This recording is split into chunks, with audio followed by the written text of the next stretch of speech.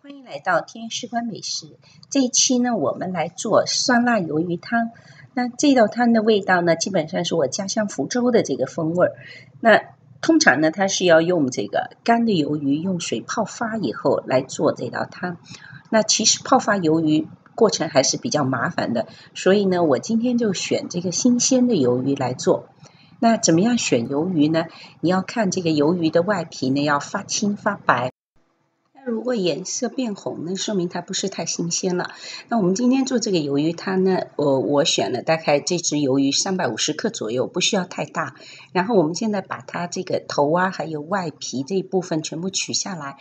那么取下来这个部分，你可以这个跟洋葱，然后加一些酱油、料酒、糖来炒着吃。那我们今天做汤呢，就需要中间这个部分。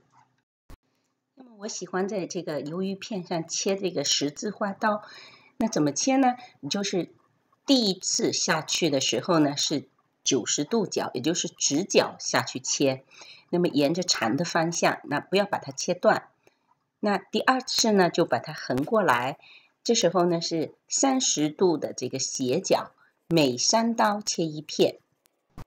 那切这个鱿鱼花呢，最好要用这个比较锋利的刀。那下面我给大家展示一下这个。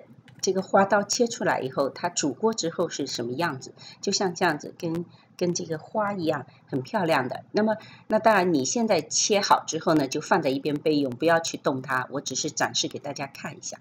好了，那接下来我们就准备这个配料。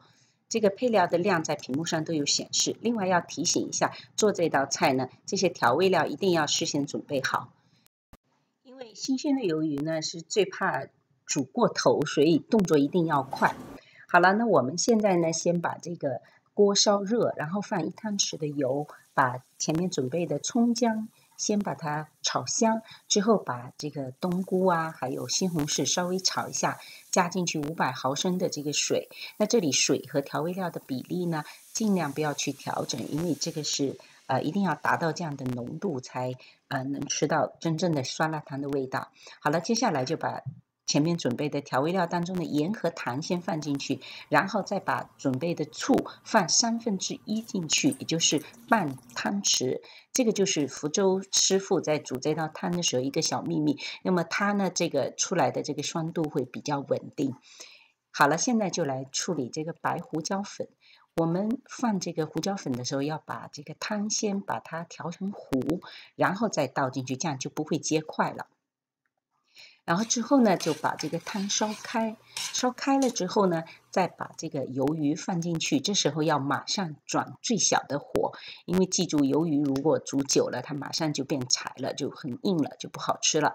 那接下来呢，就把这个前面剩下的这个香醋一汤匙倒进去，之后呢，呃，马上倒进去这个湿淀粉，也是我们之前准备好的，然后把它这个勾芡一下。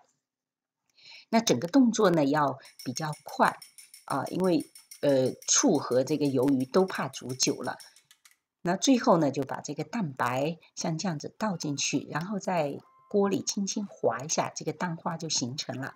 那记得呢煮好之后呢，我们马上要把它倒到碗里，因为锅里的余热还会让这个呃鱿鱼变老了。谢谢大家的收看。更多的互动呢，请关注我的微信公众号“田园时光美食”，也欢迎加入我的美食交流群。群的名字我会在底下的说明栏当中标注。